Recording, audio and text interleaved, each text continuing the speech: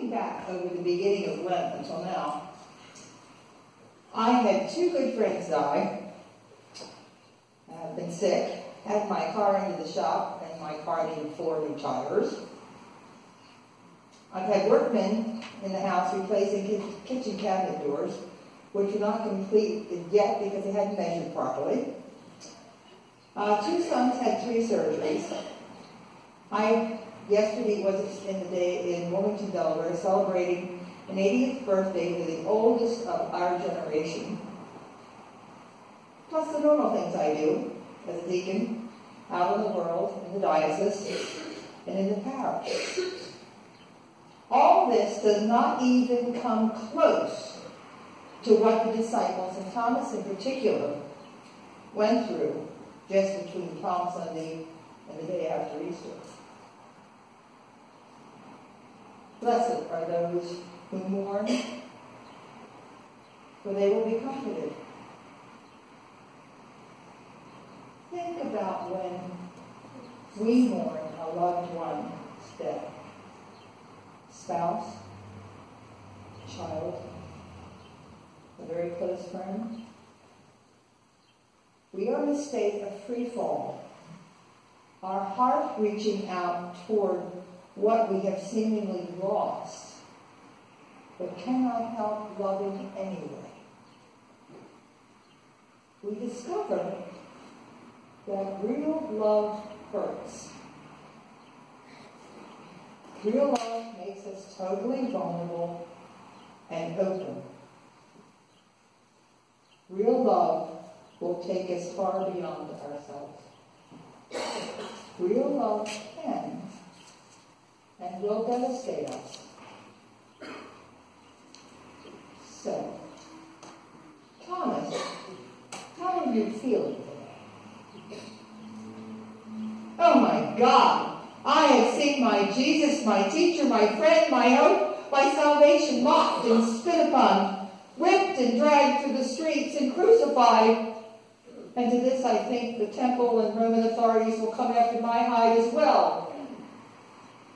And, and, I deserted Jesus' Thomas' death.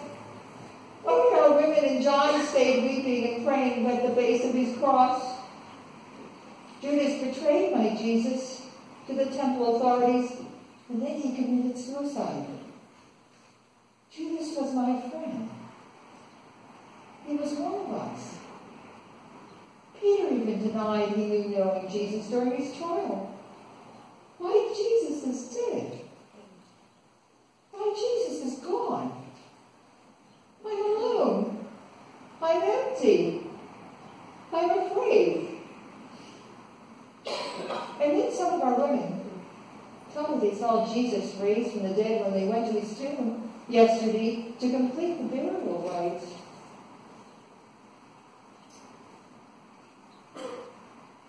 Some of my friends told me they met him too. Oh my God. Mourning is indeed brutal form of emptiness. Help me. I'm locked in fear. I'm alone. I'm empty.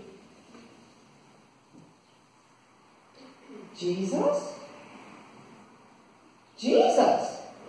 My Lord and my God, are you opening your robe so that I, Thomas, can put my hand in your pierced side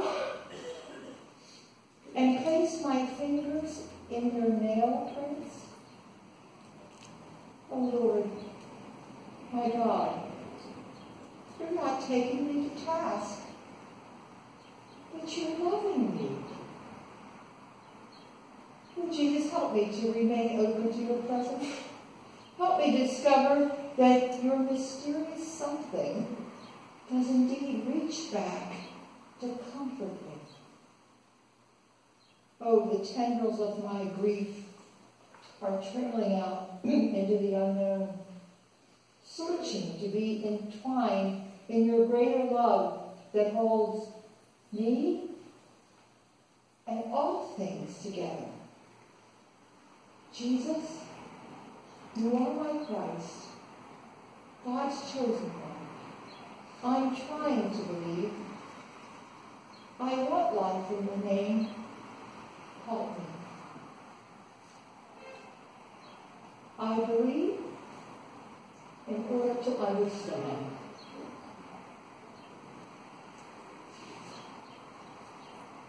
When we mourn, we touch directly the substance of divine, divine compassion. And just as ice must melt before it can flow, we too must become liquid before we can flow into the larger mind to embrace God and the community. Tears are the classic indicator. Blessed are those who mourn, for they will be comforted. You folks are my community. This is the place I come when I mourn. I come here to cry.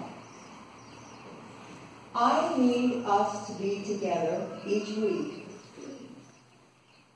You and I are the essential personnel in my life and in God's kingdom. I'm not here to make God happy or to learn some sound moral or even to learn essentials of Christian faith, although that does have to happen hopefully.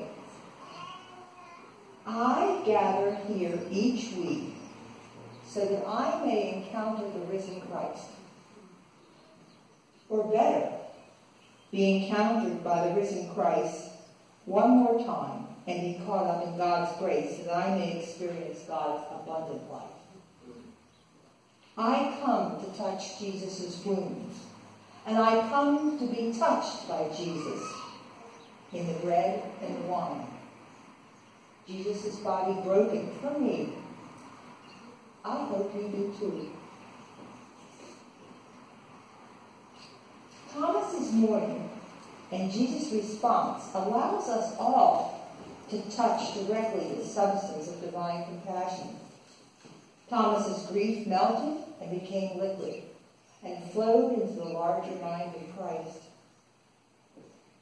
We come together because the life of faith can be joyous and wonderful. And it also frequently is, can be rather challenging. The loss of a loved one, the end of a relationship, the ability to, inability to find a job, to get into the proper school, persistent ache of loneliness, or a prolonged bout of illness, a pervasive sense of anxiety about our larger community, our country, and world, all these things can wear us down.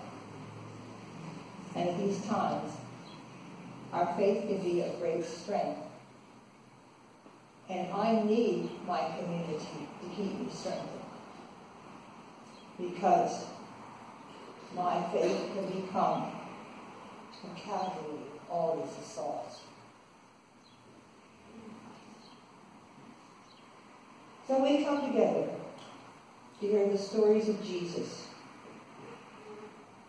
read and interpreted, so we might hear Jesus speaking to us, and in turn might have renewed faith and hope and confidence.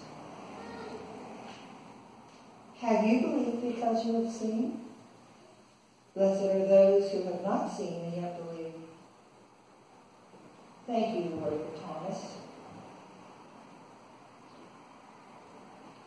Thomas's lack of believing is more of a blessing to all of us who come after Thomas.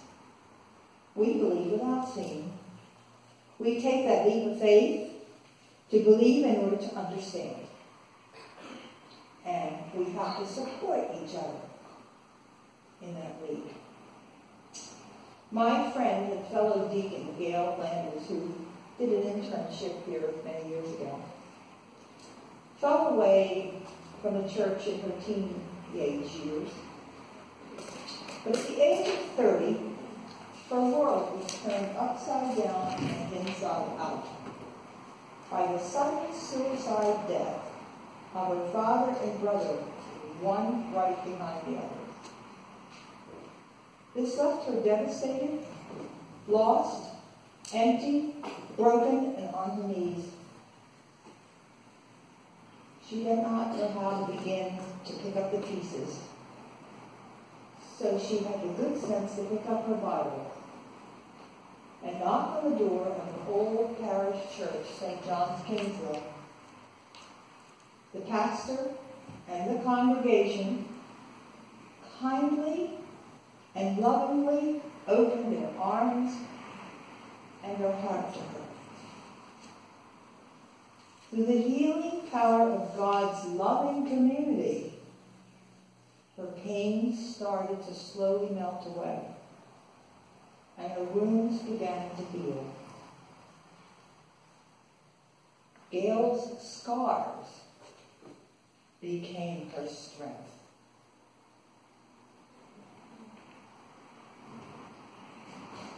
Faith in practice enables us to give and receive forgiveness,